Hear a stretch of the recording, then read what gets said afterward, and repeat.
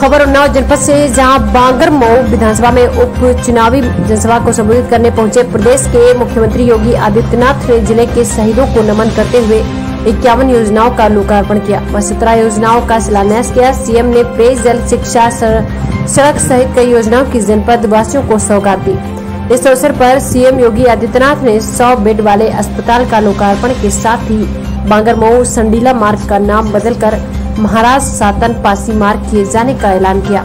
आपको बता दें, बांगर मऊ विधानसभा क्षेत्र के पूर्व विधायक कुलदीप सिंह सेंगर को पार्टी ने एक प्रकरण में बर्खास्त कर दिया था, जिसकी वजह से यह सीट खाली थी।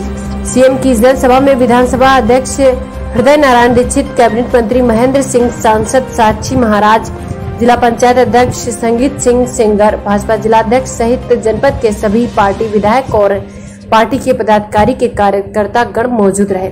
उन्नाव से पुनीत कुमार की रिपोर्ट।